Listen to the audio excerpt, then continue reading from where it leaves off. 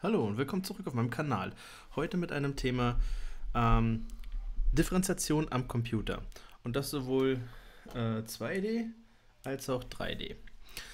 Ja, also wir wollen äh, Ableitung von Funktionen berechnen. Hier zum Beispiel ein äh, irgendwie gearteter verschobener Sinus. Ähm, und die Fläche hier drauf ist die Tangentialfläche, die wir da berechnen.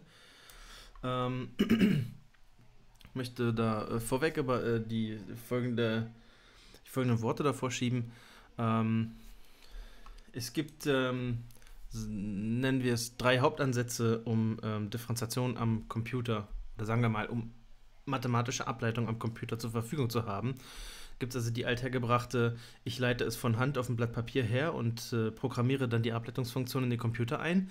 Ja eine Möglichkeit, aber sehr arbeitsintensiv und überall, wo menschliche Arbeit notwendig ist, ist natürlich auch immer eine Quelle präsent für potenzielle Bugs. Wenn, Sie, wenn ihr euch beim Ableiten vertut oder beim Übertragen in ein Computerprogramm. Der zweite Ansatz, äh, und um den soll es äh, in diesem Video heute vorerst der Einfachheit halber zunächst mal gehen, die sogenannte finite Differenzierung und der dritte Ansatz die algorithmische Differenzierung. Und ähm, die finite Differenzierung kann immer wieder auch mal nützlich sein im Verhältnis zur algorithmischen Differentiation. Persönlich würde ich immer letzteres, also die tatsächliche algorithmische Differentiation, empfehlen, womöglich. Ähm, aber manchmal gibt es äh, Edge Cases, gibt Randfälle, wo man vielleicht äh, nicht anders kann, als sich mit finiter Differenzierung zu behelfen. Beziehungsweise auch kann man die finite Differenzierung heranziehen und nutzen, um die Resultate der, der algorithmischen Differenziation zu verifizieren oder abzutesten. Ja, wenn man selber ein Modul für algorithmische Differenziation geschrieben hat und jetzt prüfen möchte, ob die Ableitungen dann noch alle korrekt berechnet werden. Na gut, so viel der Ankündigung und äh, der, äh, des Vorworts. Äh, lasst uns doch gleich in die Materie springen. Also hier der Code, den wir hier sehen, das ist der äh, ähm, Plotting-Code. Das ist sozusagen das äh, Ziel äh, des heutigen Videos äh, eine Ab, äh, die, äh, den Ableitungsprozess gewissermaßen zu automatisieren. Im Übrigen, so viel sei vorweg äh, dazu auch noch gesagt, äh, hier ist übrigens die Funktion, ja, es ist ähm, äh, die Funktion f von einem Vektor, uh, von einem Vektorargument ähm, x und gibt zurück Sinus von der Summe der beiden Einträge in dem Vektorargument x. Hier oben ist eine Zeile, Zeile 13, die ist jetzt nicht zwingend wichtig für die Ausführung dieses Skriptes in seiner jetzigen Form. Ähm, hierbei handelt es sich äh, bei diesem Add Contracts um eine statische ähm, ähm, äh, statischer Typencheck plus äh, Input-Validierung. Also dieses Add Contracts checkt, dass das Array, das hereinkommt, äh, genau zwei Komponenten hat, nicht mehr und nicht weniger. Und dass der Return Value, also das, was die Funktion zurückgibt, ein Array der Länge 1 ist, nicht länger und nicht kürzer. So, aber ansonsten die eigentliche Magie findet hier statt. At Jacobianize. So, diese Funktion, ähm, dieser Dekorator äh, ersetzt jede Funktion durch ein Pendant, das nicht nur die mathematische Funktion als solches berechnet, sondern gleichzeitig auch die Jacobi-Matrix mit hinterher schiebt. Vorausgesetzt, bestimmte Input- und Output-Annahmen bezüglich des Interfaces der Funktion bleiben gewahrt, slash sind erfüllt. Nun gut, ähm, das ist also das Ziel, das wir heute erreichen wollen. Wie kommen wir dahin? Als erstes mal äh, holen wir uns mal die NumPy Library rein. Das ergibt schlicht und ergreifend Sinn. Ähm, als äh, zweites ähm, hole ich mir mal hier ja, N2LA äh, ist ein Paket, an dem ich gerade schreibe für diese Videoserie eigentlich. Ja, das ist nicht das einzige Video, es ist eingebettet in einer längeren Serie.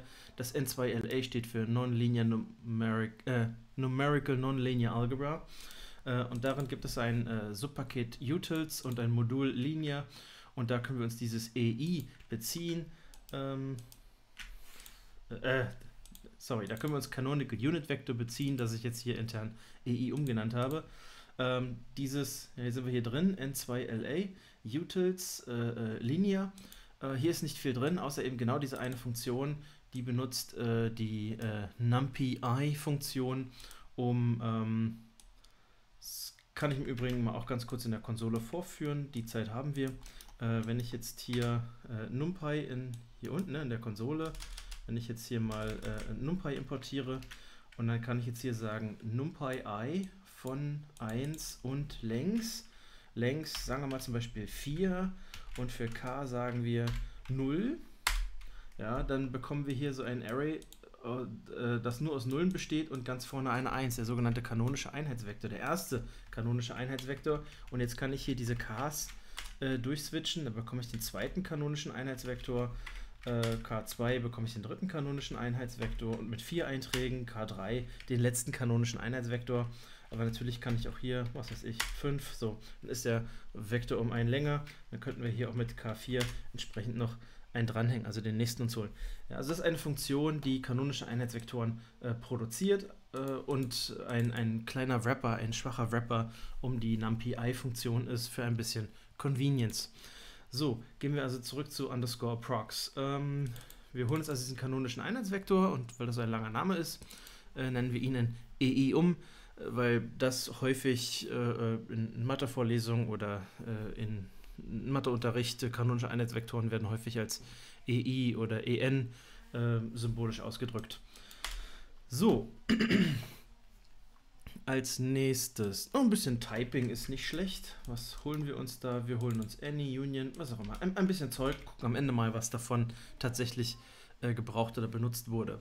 So, der Clou ist jetzt, wir wollen ein, ähm, zunächst erstmal, äh, genau, finite Differenzierung. Was ist das überhaupt? Schreiben wir uns mal hier einen kleinen Kommentar dazu. Jetzt wird mir PyCharm sagen, einfach angestrichene ähm, Anführungszeichen sollen es nicht sein. Besser wäre äh, doppelt für Dokumentation. Na, dann erfüllen wir PyCharm diesen Wunsch. So, ähm, mathematisch gesehen, wenn ich jetzt äh, eine Funktion slash partial nach äh, slash partial x, ja, ähm, f von xy zum Beispiel.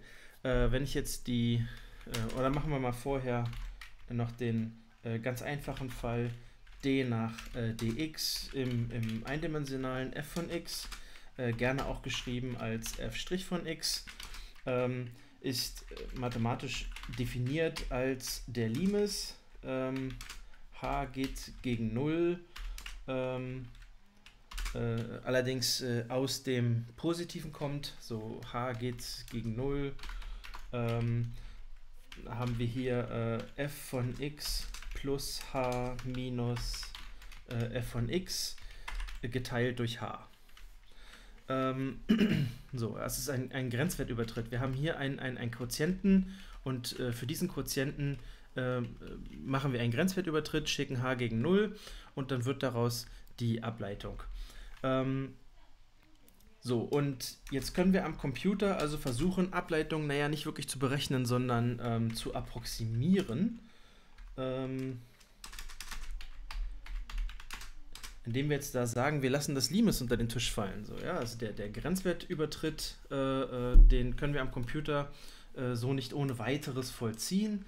Also sagen wir einfach, na gut, dann eben ähm, f' von x ist also approximated, das ist so ungefähr einfach die, die finite Differenz äh, so für ein äh, äh, für ein h sehr klein. Also wir wählen ein, ein ganz kleines h.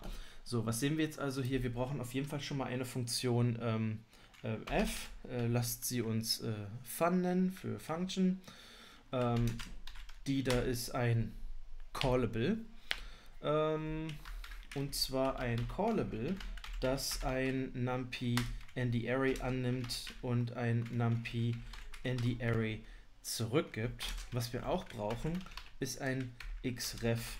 Das ist dementsprechend auch ein NumPy ähm, ND Array. Ähm, ähm, und wir brauchen zumindest mal schon mal ein dieses, dieses H. Jetzt sagen wir mal, das erstmal ist ein Optional äh, und dem geben wir erstmal vorab einen in Anführungszeichen kleinen Wert. Jetzt hängt es davon ab, was man hier also tatsächlich für eine Funktion reinschickt, äh, dass man dieses H vielleicht anders wählen möchte, aber Pi mal Daumen als heuristischer Wert ist 1.0 e-8 in den meisten Fällen schon mal eine ganz gute äh, Größenordnung. So, was wir jetzt hier im Kommentar zusammengesammelt haben, ist ja jetzt aber erstmal der univariate oder eindimensionale Fall. Implementieren wollen wir aber gleich vektorwertig. Deswegen ja hier schon mal dieser äh, äh, umständliche, umständliche Schriebs für eine äh, mehrdimensionale äh, Funktion. Ähm, beziehungsweise sagen wir mal hier xi, dann x0, x1, Punkt, Punkt, Punkt, bis x n-1 oder so. Ja. Äh, kurz zusammengefasst, äh, äh, partial i äh, von fx, also wir wollen die i-te Stelle ableiten. So, und das ist jetzt hier auch ganz ähnlich ähm, definiert. Wir sagen also auch wieder, es gibt dieses, dieses skalarwertige h, das wir gegen 0 schicken.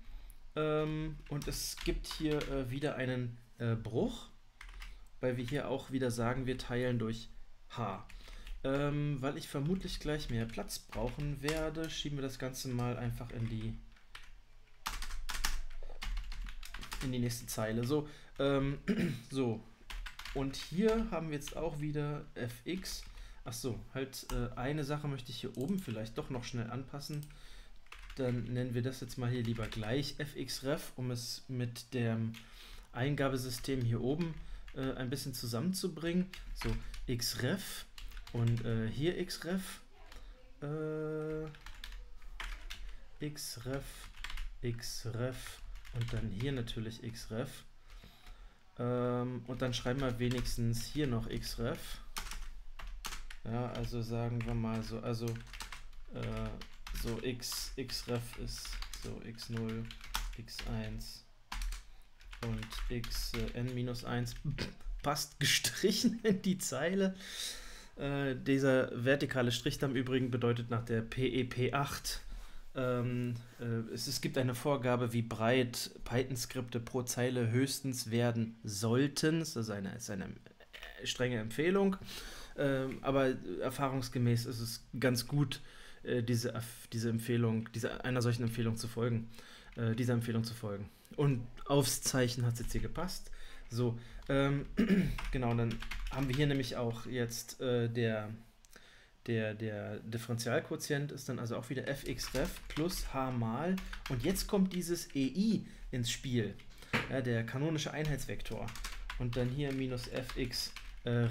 So, und das Ding gibt uns ähm, genau das Ding gibt uns die partielle Ableitung von f nach der nach der iten-Komponente.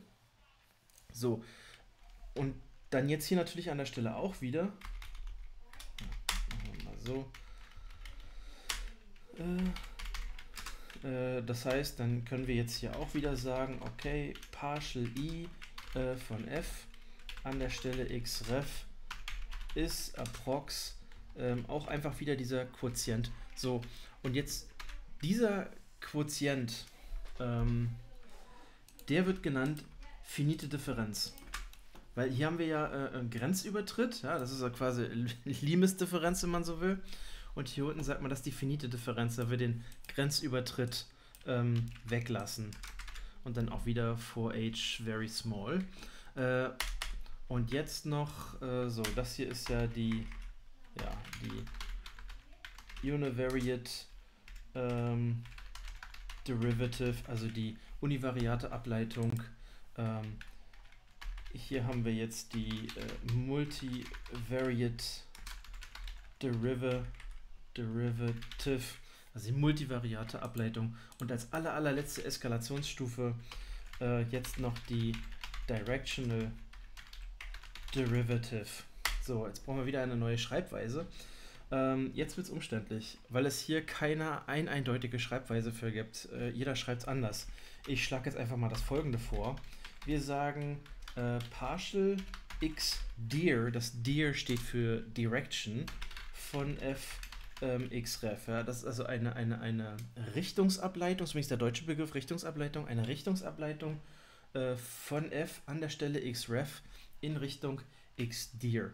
So, und äh, die ist definiert äh, auch wieder über, durch so einen Grenzübertritt ähm, 0 kleiner gleich äh, h geht gegen 0 äh, von, wir teilen hier trotzdem 0 durch h, und zwar von f äh, xref plus h mal xdir mal äh, minus f von ähm, xref und dann entsprechend ergibt sich die entsprechende finite Differenz. Ähm, so, xdir fxref ist ungefähr so äh, xdir. So. Und das Ding, oder äh, das Ding hier, das wollen wir jetzt implementieren. Das heißt, jetzt sehen wir hier, oh, okay, wir brauchen also noch eine äh, Direction, also packen wir hier noch ein x äh, dazu. ND Array, so. so, warum?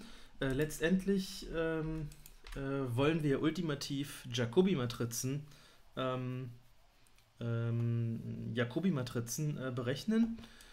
Und Jacobi-Matrizen unterm Strich letztlich sind äh, ja, die Jacobi-Matrix von f an der Stelle xref ist definiert als ähm, einfach äh, alle partiellen Ableitungen ähm, also die partiellen Ableitungen zu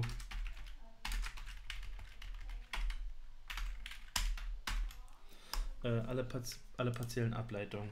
Vielleicht sollten wir hier noch sagen, so f von r nach r und hier sagen wir entsprechend f von r hoch n nach r hoch m vielleicht. Ähm, und hier unten entsprechend dasselbe. So, also der Punkt ist, wenn wir alle partiellen Ableitungen zusammen äh, nehmen, jeder von diesen partiellen Ableitungen ist ein, ähm, ist ein Vektor. Ja, ja genau. Äh, jeder ist ein, ist ein Vektor und den kann man auch schon gleich als Spaltenvektor nehmen. Und wenn man all diese Spaltenvektoren zusammensetzt zu einer Matrix, dann kommen wir hier zu einer äh, äh, Matrix, die da hat äh, m Zeilen mal n Spalten.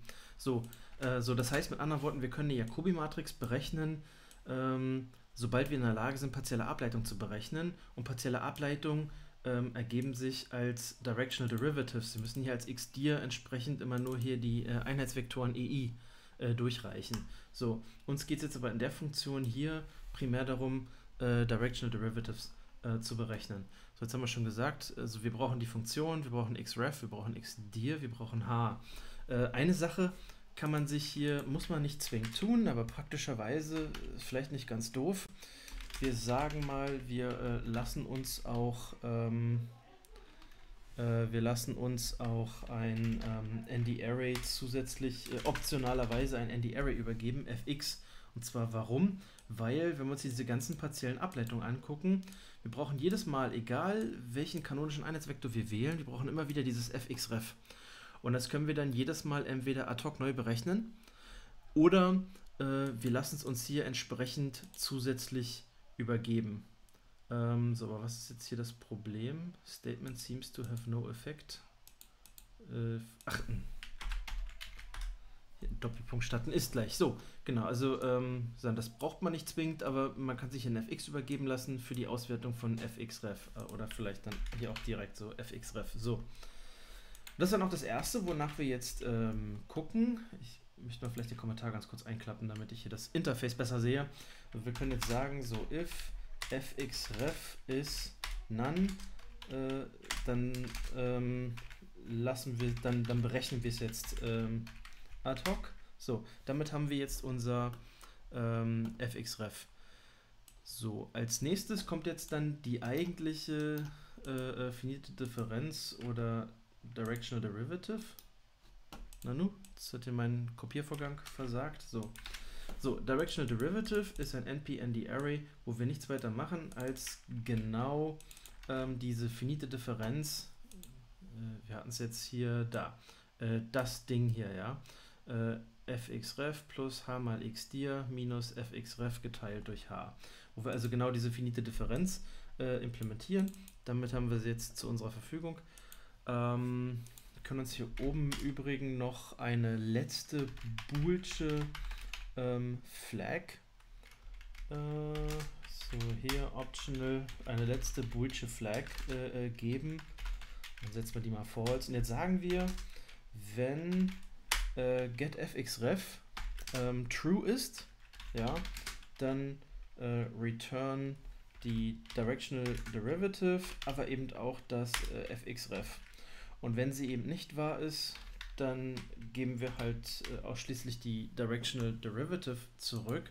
Das heißt also hier oben ähm, gibt es äh, als äh, Rückgabetypen können wir jetzt sagen, also entweder ist es halt nur ein äh, ND-Array, wenn getFX äh, false ist, ansonsten ist es halt eben äh, ein, ein Tuple mit kleinem t natürlich, seit, das ist Python 3.9, ich glaube schon, ne? Ähm, so, und ansonsten gibt es ein Tuple zurück mit zwei ND-Arrays, nämlich einmal die Directional Derivative und einmal der Funktionswert am Referenzpunkt. So, damit ist die Directional Differentiation fürs erste fertig und auf Basis dessen können wir jetzt ähm, den Dekorator für die Jacobi-Matrix ähm, programmieren.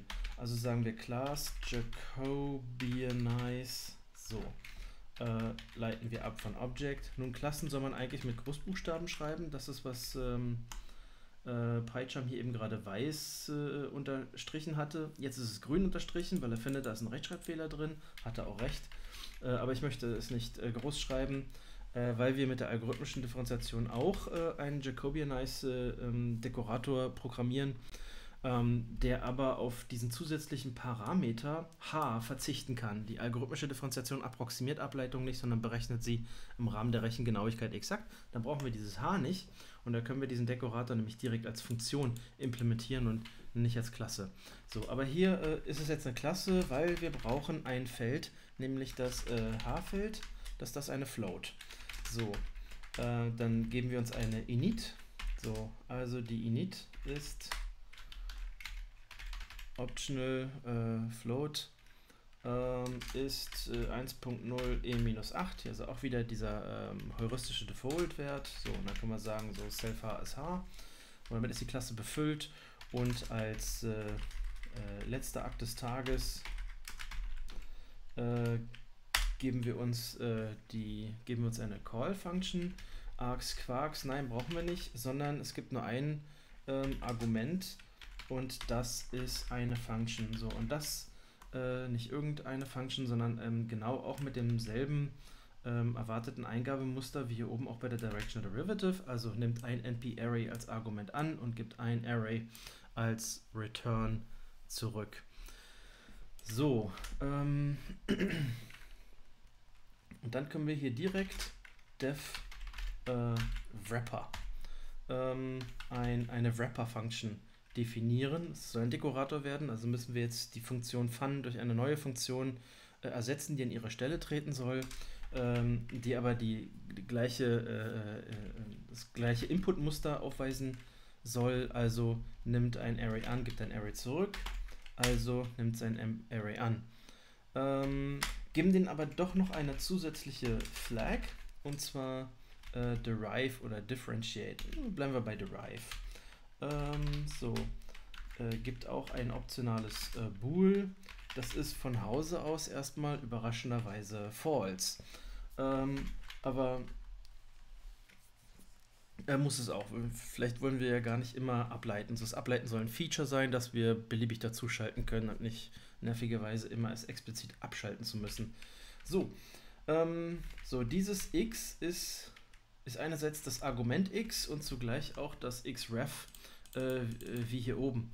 Ähm, und das heißt also als allererstes Mal holen wir uns einen Funktionswert ab. Ja? Also dieser Wrapper ruft jetzt die Funktion fun auf, auf wertet sie an x auf aus und äh, äh, legt sich das Ergebnis mal zwischen. So, und jetzt können wir als nächstes fragen, ähm, äh, wenn wir überhaupt gar nicht differenzieren wollen, dann sind wir an der Stelle ja auch schon fertig und geben einfach den Funktionswert 1 zu 1 äh, so zurück, wie wir ihn gerade berechnet haben. Andernfalls holen wir uns einmal jetzt die Länge von x ab. So, an der Stelle ist es jetzt von zentraler Wichtigkeit zu wissen und zu garantieren, dass x nicht nur andachtsweise ein Array sein soll, sondern wirklich ein Array ist. Nun hatte ich ähm, gestern ein Video äh, hochgeladen, wie man ähm, statische Typisierung erzwingen kann. Und genau darauf möchte ich jetzt äh, zurückgreifen. denn wir klatschen jetzt über diesen Wrapper ein Contract drüber. Wir sagen xref ist ein eindimensionales Array von einer beliebigen Länge und diese beliebige Länge nennen wir n. Äh, einen anderen Trick, den ich jüngst kennengelernt habe und den wir jetzt hier an der Stelle auch gleich mal mit einbringen, wir holen uns von dem Python-Paket FuncTools äh, Wraps ab und dann können wir hier äh, außen drum sagen add äh, Wraps ähm, Fun.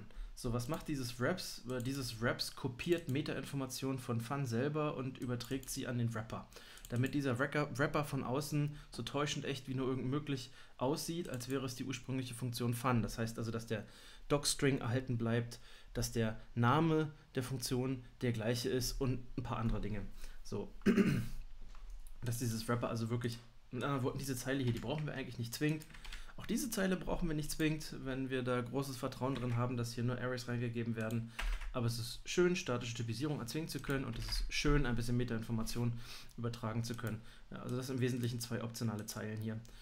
Ähm, ansonsten f von x ist von x, bla bla bla. So, jetzt wissen wir an der Stelle, also todsicher, x ist ein Array und es ist auch eindimensional, also können wir uns direkt hier äh, die Länge n ähm, äh, abholen gehen.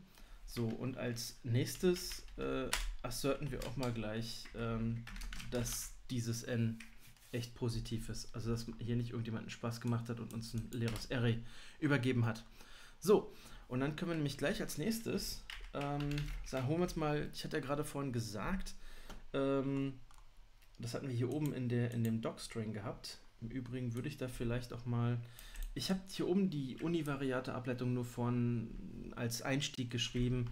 Äh, hier machen wir nichts Univariates im Speziellen, also einfach weg damit. Ähm, und äh, die multivariate Differenziation, bababa, das ist zwar alles im Prinzip richtig, äh, aber passt im Grunde genommen eigentlich besser hier zu unserem Dekorator. Packen wir es mal dahin. So, und hier hatte ich vorhin gesagt, okay, eine Jacobi kann ich aufstellen, spaltenweise, indem ich hier lauter äh, partielle Ableitungen berechne, mit Hilfe der Directional Differentiation. Ähm, das heißt, holen wir uns doch erstmal zunächst diese ganzen Spalten alle ab. Wir rufen also die Directional Differentiation auf, übergeben ihr die Funktion fun, äh, sagen ihr, was der Referenzpunkt für die Ableitung ist, das ist natürlich x, und jetzt sagen, übergeben wir ihm auch die äh, äh, Ableitungsrichtung, in die wir Richtungsableitung berechnen wollen. Wie oben ja schon gesagt, partielle Ableitung und partielle Ableitung berufen auf den kanonischen, beruhen auf den kanonischen Einheitsvektoren. Das heißt, hier geben wir EI rein. So, EI ist n lang und äh, wir übergeben alle Einheitsvektoren. Das heißt also, for i in range n. So, für, für jeden Einheitsvektoren berechnen wir die Directional Derivative, die, die Richtungsableitung und holen uns eine Spalte der Jacobi-Matrix auf diese Weise ab. So, ähm, fx haben wir ja hier vorab auch schon berechnet, können wir auch direkt übergeben. Da muss die Directional Differentiation äh, f nicht immer wieder am Referenzpunkt äh, berechnen. Allerdings hieß es nicht fx, es hieß ähm, fxref. Ähm, und schlussendlich äh, für h übergeben wir das äh, in der Dekorator-Klasse hinterlegte H. So, damit haben wir jetzt alle Spalten. Und weil wir damit alle Spalten haben, können wir das im Grunde auch eigentlich direkt mit äh, NumPy Array direkt als Matrix casten. Das Dumme ist jetzt nur, wir haben uns äh, lauter Spalten abgeholt, aber NumPy wird die jetzt alle als äh, Zeilenvektoren interpretieren. Das ist aber kein äh, Beinbruch wir sagen einfach transpose, ja, transponieren. Damit werden aus allen Zeilen plötzlich wieder Spalten. So, und das ist dann auch schon unsere Jacobi-Matrix. Äh, jetzt alles nur noch mal ein bisschen einrücken, nachdem ich eben schon gerade alles eingerückt hatte. Äh, können wir jetzt direkt dahin gehen und sagen, so, return fx, vorneweg erstmal der Funktionswert natürlich und hinten weg die Jacobi-Matrix. Und insgesamt immer noch, ist ja, huch, ist hier Lust immer noch, ist ja ein Dekorator. Und der äh, Dekorator muss die Wrapper-Function zurückgeben, weil hier oben kommt ja die Ursprungsfunktion rein und sie wird durch die Wrapper-Function ersetzt, weil die Wrapper wäre und die Wrapper-Function modifiziert den Funktionsaufruf von fun, indem sie außen drumherum äh, Dinge tut. In dem Fall Richtungsableitung berechnen. So, das war es dann im Grunde auch schon. Wir sind fertig mit der Directional Differentiation. Ähm, gehen wir hier zurück in unser Plotting-Skript und können hier auf das Underscore Approx einfach ähm, umschwenken, äh, lassen das äh, Skript nochmal laufen und siehe da, hier ist wieder unsere Sinusfunktion und da ist wieder unsere Tangentialfläche. So, hier haben wir unsere univariate äh, Differentiation, wenn ich von der Seite drauf, drauf schiele und äh, wenn ich äh, aus einem anderen Blickwinkel drauf gucke, dann sehen wir die 3D-Ableitung, die multivariate Differentiation. Das heißt, wir können jetzt beliebige Vektorfunktionen ähm, näherungsweise ableiten. Und in einem, einem der Folgevideos gucken wir uns dann das Ganze an mit algorithmischer Differentiation. Und insofern äh, bedanke ich mich herzlich fürs Zuschauen. Ähm, abonniert und beziehungsweise subscribe den Kanal, wenn euch gefällt, was, ich, was ihr hier seht.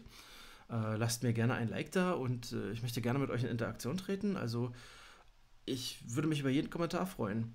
Fragen, Anmerkungen, Diskussionen, bitte alles einfach unten rein. Ich werde das alles lesen. Und ansonsten war's das und ciao, ciao.